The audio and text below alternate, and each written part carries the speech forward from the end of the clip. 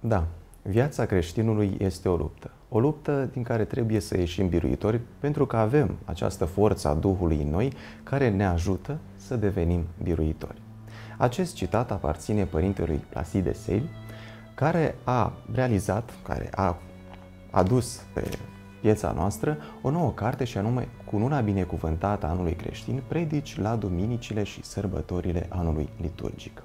În această carte avem ocazia să ne întâlnim cu un om trăitor, un om care reprezintă monahismul prin excelență, el intrând în monahism în Franța, într-o abațiune cisterciană la vârsta de 16 ani. La vârsta de 51 de ani, intră în monahismul ortodox în mănăstirea Simonus Petra din muntele Atos.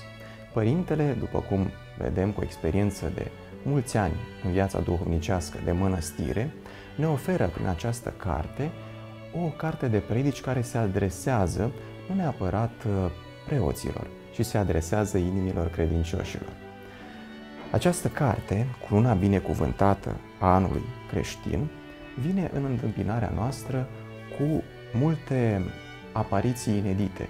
Multe din uh, predicile părintelui nu au fost publicate în limba franceză, ele fiind oferite în manuscris editurii Doxologia și oferite spre publicare în limba română. Din acest motiv, multe din aceste predici întâlnite reprezintă 15 ani de activitate. Aceste predici au fost uh, rostite de-a lungul 15 ani de activitate în cele două mănăstiri pe care Părintele Placid Esei le-a întemeiat în Franța, și anume Sfântul Antonie cel Mare de la Verscors și acoperământul Maicii Domnului de la Solac.